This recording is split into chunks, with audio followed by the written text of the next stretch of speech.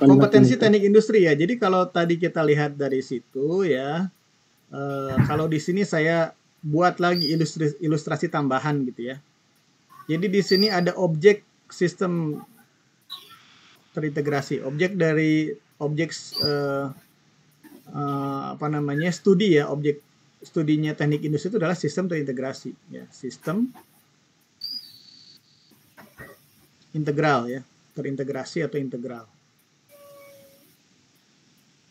tadi kan begini ya. Nah, Oke. Okay.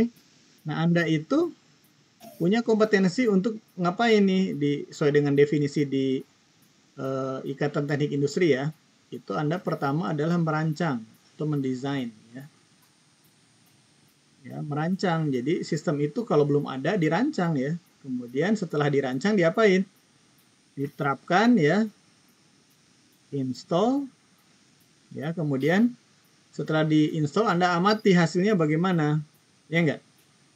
Kemudian kalau ada kekurangan di improve ini sebetulnya kompetensi utama teknik industri itu ada di tiga ini ya. Design install improve.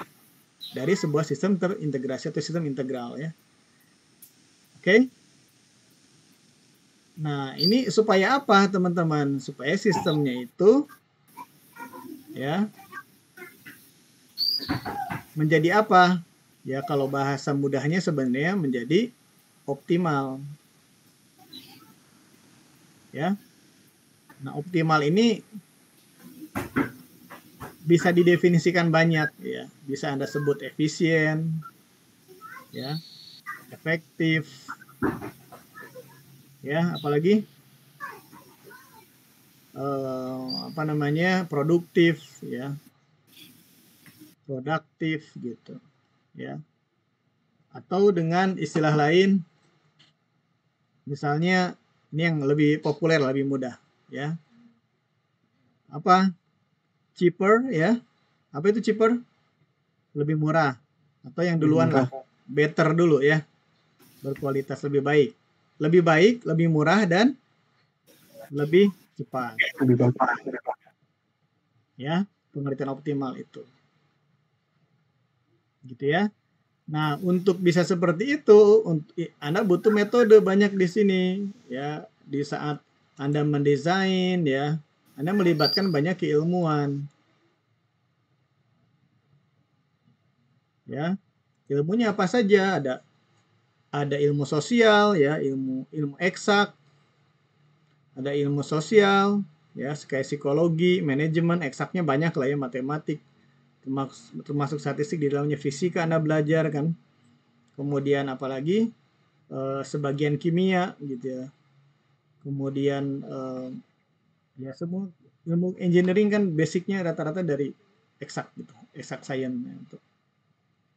kemudian ada belajar juga uh, apa namanya uh, ya ilmu-ilmu yang banyak ya interrelated gitu jadi interdisciplinary multidisciplinary gitu Nah, kemudian apa? Anda belajar juga ilmu ekonomi kan ada ya, ekonomi teknik kan. Ekonomi teknik gitu ya, banyak tuh. Kemudian eh, bahkan accounting mungkin ada akuntansi biaya kan. Gitu. Banyak tuh. Bagian dari ilmu sosial itu ya. Nah, kemudian ada salah satu ilmu statistik ini yang kita akan pelajari. Gitu ya. Jadi ilustrasi ini akan lebih mudah memahami. Nah, jadi tapi ini paham ya. Ini kan sebetulnya uh, detailnya dari yang ini ya. Ada kaitannya sama uh, kompetensinya lah. Ada tiga kompetensi utama di sini. Ya, paham ini ya?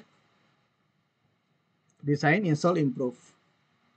Ya, ada sistem terintegrasi. Ya, di sini ada ilmu yang ada, metode yang Anda gunakan, ada kebanyak kebanyakan ilmu gabungan nih eksak sama sosial ya. Salah satunya ada ekonomi teknik ya, ekonomi teknik itu gabungan dia ada matematikanya, ada ekonominya ya. Ada akuntansi, ada ilmu statistik, ya di sini metode semua tuh. Digunakan di mana? Di desain, install, di improve ya. Ini adalah supaya menghasilkan sistem yang lebih baik atau yang optimal. Bisa disebutnya efisien, efektif, produktif, better, cheaper, faster gitu ya. Nah ini Ini kenapa kita begini, kenapa kita harus menjadi optimal? Itu biasanya memang karena adanya tuntutan dari market ya. Ya, rational eh, market itu rasional ya. Rasional market. Jadi kita harus beradaptasi ya. Kalau kita tidak me, tidak beradaptasi dengan rasional market ini, maka kita kalah kalah persaingannya.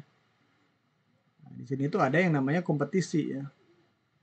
Di dalam meraih simpati atau memenuhi keinginan pasar ya, kita akan menghadapi yang namanya persaingan.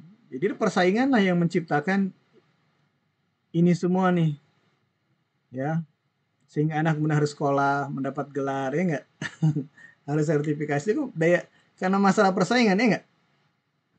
Intinya di situ